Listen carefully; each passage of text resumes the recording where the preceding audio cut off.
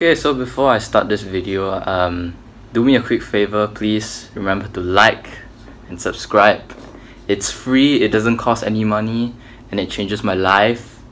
And as a small channel, that means a lot. Like, I'm dying for even one like or one subscriber. It means the world to me. So please, smash those shit. Okay, bye.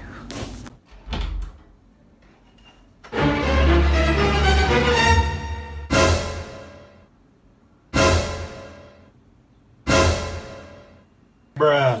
Bye, have a great time. What is up guys, welcome to another video and today is going to be the third episode of How to Skills. Okay, so today we will be learning about the L-sit which is a really important static skill to master. It's quite basic, I know some of you are gonna say it's basic, but who the hell cares, don't leave the beginners behind. The humble L-sit itself is a great way to work your triceps, your core and your shoulders. It also helps you to unlock skills such as the toes to bar, the L-sit to handstand, and the tuck planche. Ah yes, I almost forgot the V-sit, which I still can't do it yet. Start by firmly depressing your shoulders, squeeze the life out of them glutes, firmly engage your core, before fully extending your arms. The L-sit can also be performed by hanging on a bar. Pull your shoulders down and away from your ears, tighten that core and lift your legs until they form a 90 degrees with the body. If it isn't obvious enough, you can do it on the parallel bars. Keep in mind that your shoulders shouldn't be resting on your structures but depressed. A mistake that beginners make is putting their hands behind their chest.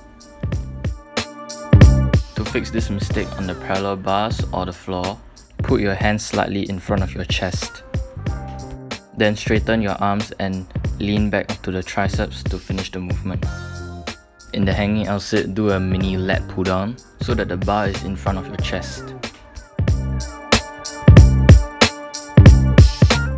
Another mistake I see very often which I used to do myself is rounding the upper back.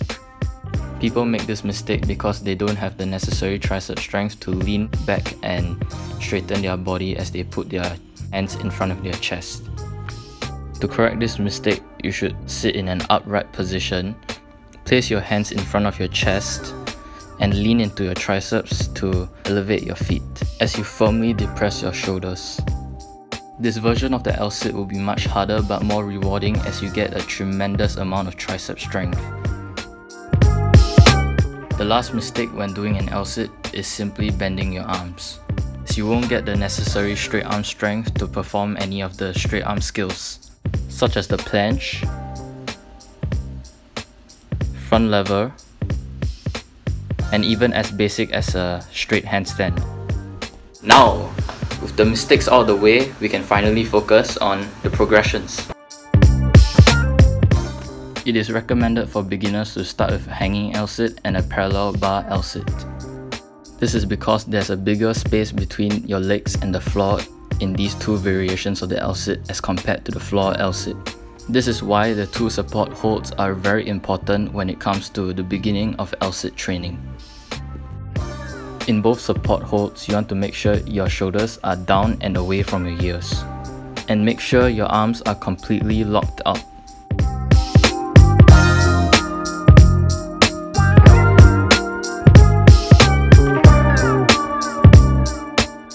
Start by getting into either of the support hold and from there just start doing knee raises. This helps build the core for the next progression.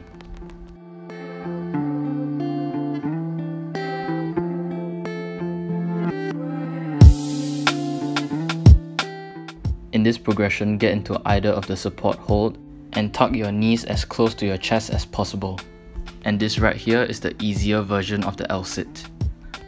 Here's why the tuck L-sit is easier than the ordinary L-sit. Look at the angle of my arms when I transition from a tuck L-sit to a full L-sit. As you can see in the tuck L-sit, I was barely leaning into my triceps, but as I extend my legs, I needed to counterbalance which is why I had to lean more into my triceps, making the hold a lot harder for me.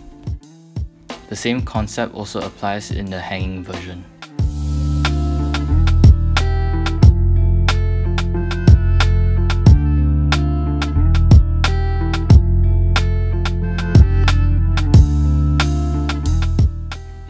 Progression, you want to raise your legs as you lean backwards so that you have a rough feeling of how the L-sit itself feels like.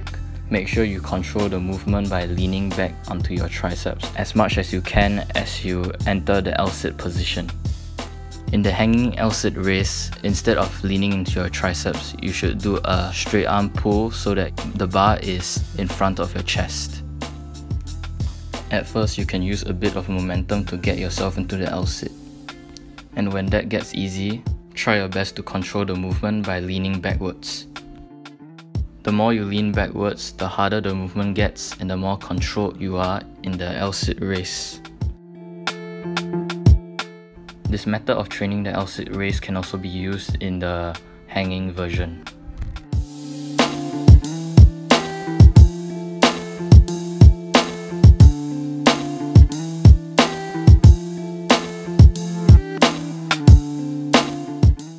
Now you should have a decent L-sit under your belt, whether it's hanging or on the P-bars. And now you can try the L-sit on the floor. It's easy, right? Psych, you wish! This tutorial ain't gonna be over yet. Because the gap between you and the floor is smaller, you're going to need more compression strength.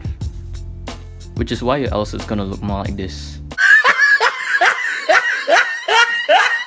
ah, look at the top of his head! Start by rounding your upper back as much as you can and place your hands beside your knees. Now lean backwards and push yourself away from the wall as you raise your legs. Once you're at the top part of the movement, try to control the lowering of your legs. You may also perform this progression with your fingertips.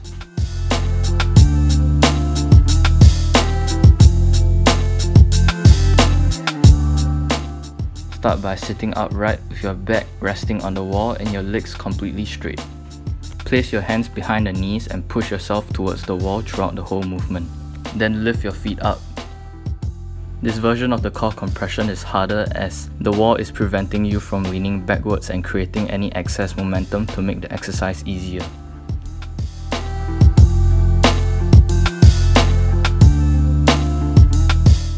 This progression is basically holding the top part of the previous progression, so there really isn't much to explain. If you want to see more tutorials or other content in the future, please smash that like button, leave a comment and subscribe. Thanks for watching the video and I'll see you guys in the next video.